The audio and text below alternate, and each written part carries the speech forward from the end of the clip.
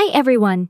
In this video we'll discover how to read all your messenger conversation from your Facebook download file. As you can see here I downloaded the Facebook file but it's raw text, almost impossible to read and you can't access the pictures, videos, and voice memos shared. So, how can we read them easily? First I open the Messenger app. As you can see there is a conversation with Jane Bryce. We are going to use this conversation for the purpose of this tutorial. So we need to download my data, I open the Facebook app. I click on the menu bars on the bottom right corner. And then on the settings wheel.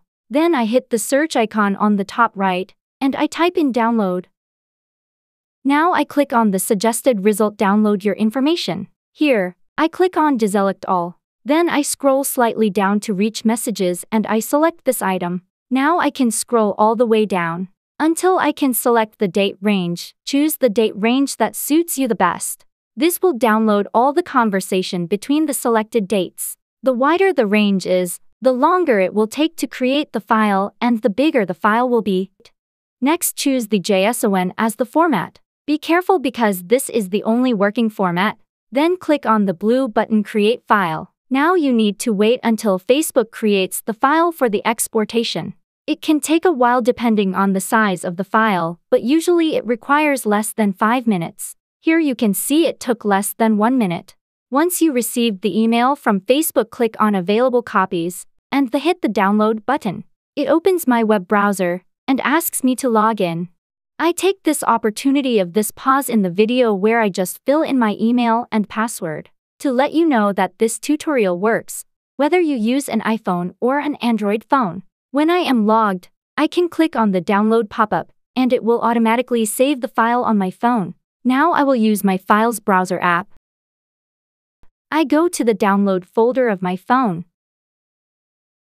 And as you can see the file we downloaded uses a zip format. If I click on it my phone will unzip the file, creating a folder that I can browse. But the problem is that it still comes as unreadable code. I tried on both Android and iPhone and it's the same result. So, what we are going to do is using a third party web app that can actually read and display those conversations, like on the Messenger app. Before we do that, be sure your zip file is less than 2 gigabytes. If it is more than 2 gigabytes, you need to download several files with different date ranges. So, open your favorite web browser and go to the website recoverberg.com. If you like, there is the link in the description and also in the top right corner. When you arrive on this page, click on the big rectangle in the middle and click on Choose File. Here, simply choose the zip file downloaded from Facebook. And all the hard work is done.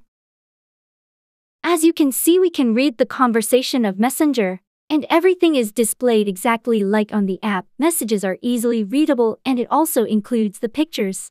And on Recoverberg you can read and save all your conversations. I hope this video was useful for you if so drop a like. Bye.